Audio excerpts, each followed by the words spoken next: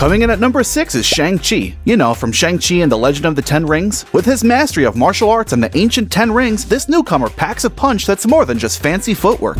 Thundering down at number 5 is Thor. The god of thunder isn't just about lightning and hammers, he's a 1500 year old powerhouse who can share his godly powers, proving that sharing really is caring, especially in battle. Zooming in at number 4 is Captain Marvel, last seen in The Marvels. She's so mighty that her arrival had to be timed perfectly so as not to throw off the balance of power. With her, Thanos would have been a mere footnote in history. Talk about girl power. Crawling up to number 3 is Ant-Man from Ant-Man and the Wasp Quantumania. Don't let his size fool you. With quantum realm antics up his sleeve, he's a scientific conundrum wrapped in a spandex suit. His size-shifting antics and time travel prowess make him an unpredictable player in the Avengers deck.